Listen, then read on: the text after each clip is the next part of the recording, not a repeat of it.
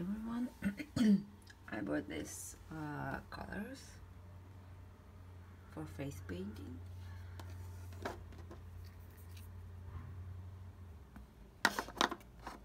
This is a new one. Colors. I used fab earlier. I know this color. Oh I forgot the pink pink pink one